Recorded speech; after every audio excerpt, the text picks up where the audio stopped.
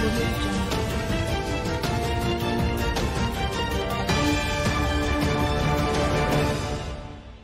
इस वक्त एक बड़ी खबर जींद से आ रही है।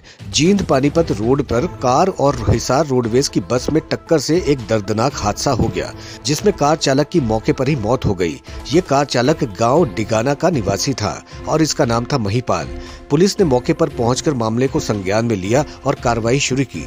बताया जा रहा है कि रोडवेज़ की इस बस में और कार में आमने सामने इतनी भयंकर टक्कर हुई कि कार के परखच्चे उड़ गए। इस मामले पर पुलिस द्वारा कार्रवाई की जा रही है। इस टक्कर की वजह से बस में सवार कई यात्री भी घायल हो गए जिन्हें इलाज के लिए सिविल अस्पताल रेफर कर दिया गया है। क्या मामला होगा ये लोग ये मामला ऐसे है कि भाई ये जो गाड़ी वाला है इसमें चालक है ये महिपाल मनोज दिले सिंह आर ओ बिगाना गाँव का बताया जाता है।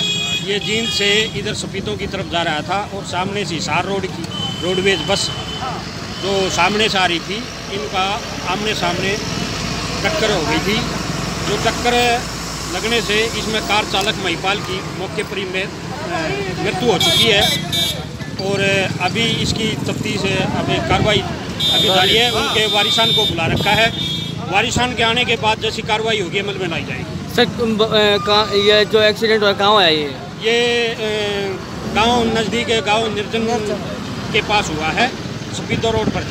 तो बस में जो सवारी थी किस तरीके की बस में सवारी थी उनको इतनी चोटें नहीं आई हैं जो कि मतलब कार चालक है उसकी मतलब सामने टक्कर होने से मौके पर ही इसकी मौत हो चुकी है।